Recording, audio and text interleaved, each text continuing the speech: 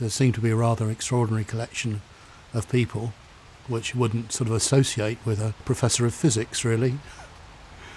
There's a rather elegant looking middle aged man on a horse, a couple of young women dressed for riding but carrying shotguns and rifles, another man dressed in the traditional Norfolk gamekeeper's outfit with the Norfolk jacket and the trilby hat and the leather breeches and things. It just seemed a bizarre collection of people.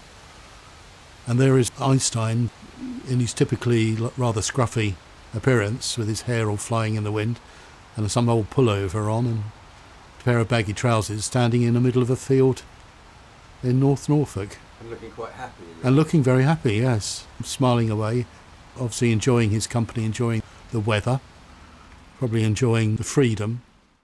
The elegant looking man on a horse was Commander Locker Lampson, and taking the world's most famous scientist into his protection at an informal campsite near Cromer in Norfolk was just the latest in a series of his incredible schemes and adventures.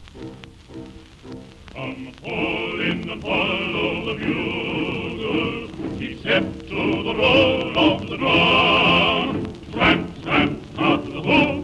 of horses, and the tread of the troops as they come.